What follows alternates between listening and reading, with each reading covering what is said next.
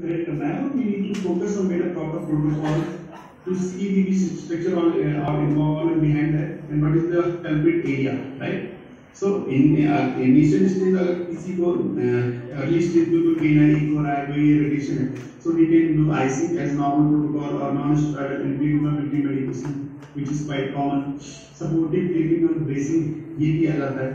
taping is very important nowadays in athlete population and bracing also and orthotic insert in the physical therapy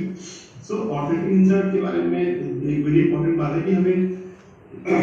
market में भी आजकल insole available होते हैं, जिसको हम लोग शूज़ के अंदर यूज़ कर सकते हैं। लेकिन उसके साथ प्रॉब्लम ये होती है कि वो सारे मोरलेस सेम कॉन्सेप्ट के अकॉर्डिंग बनाए जाते हैं, जिसको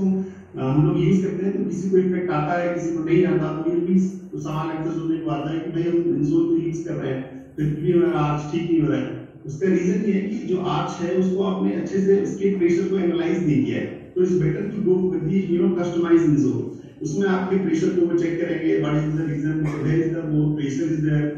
is नमी ड्रॉप इज़ मोर और मेरे पास 35 ज़्यादा प्रेशर है, और मीडियम स्ट्रक्चर ज़्यादा टाइट है। So they will you know measure what is the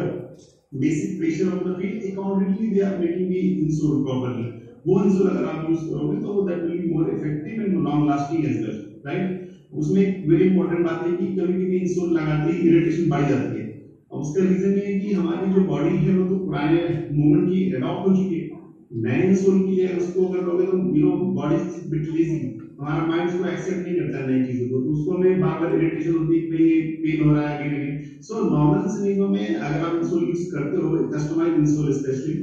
तो उसमें हफ़्ते से दस दिन का वक्त लगता है वो अडॉप्टेशन ऑफ़ द एंगल ध्यान रखना है कि क्या क्या कॉम्प्लिकेशंस है और व्हाट इज़ द रीजन अब रीजन के बारे में अगर देखें तो आपको पूरी चेन में फोकस करना पड़ेगा फॉर द लॉन्गर रिहैब के लिए। लेट्स से अगर नी की बात करें तो राइट दैट से बात IT band is more attach over there then then it, it will go the other part that is called uh, latissimus dorsi इस हमें oblique chain को भी करेक्ट करना है the lower back as well. So same as it is